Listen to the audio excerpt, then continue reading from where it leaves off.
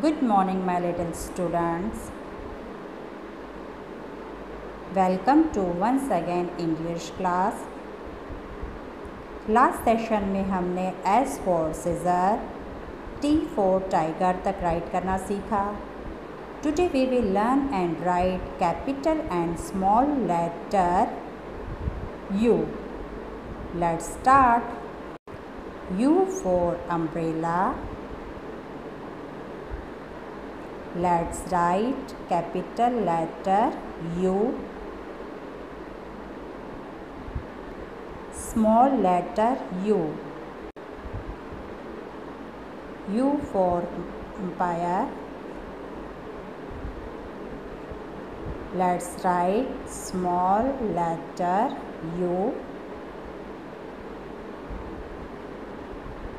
Capital and small letter U both. Let's write capital letter U and small letter U. Letter V. Capital letter V. V for violin. Let's write capital letter V.